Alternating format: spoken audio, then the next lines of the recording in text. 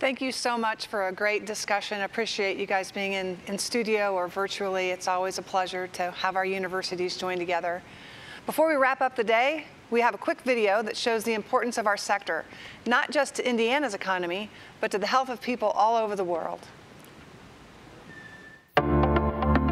In 2020, more than $11.4 billion of products were exported from the state, the second highest in the U.S. Life sciences account for more than $192,000 of output per worker, the highest amount ever recorded. In addition, Indiana life sciences startups garnered a record level of venture capital investment, with more than $262 million committed to 44 companies, including MBX, Scioto Biosciences, and Wishbone Medical.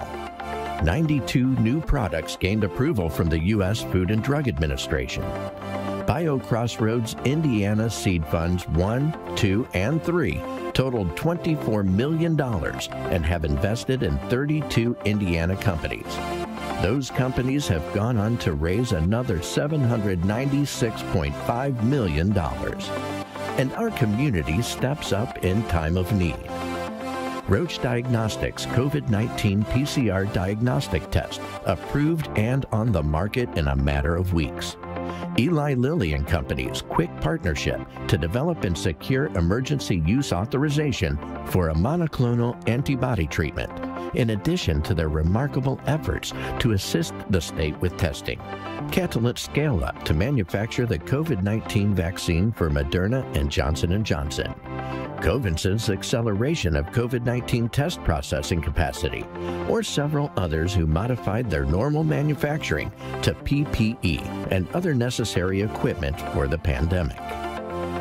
Indiana's life sciences industry makes medical breakthroughs that impact Hoosiers and people all over the world every day.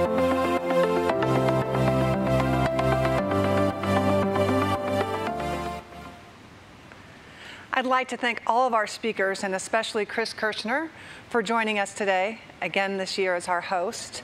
And I'd like to thank all of you for joining us. I'd like to thank our sponsors just one last time.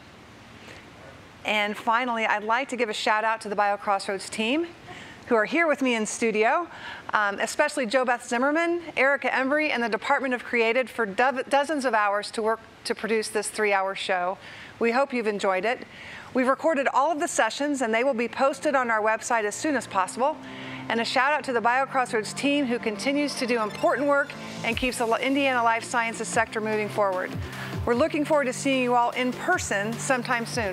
Thanks so much for joining us.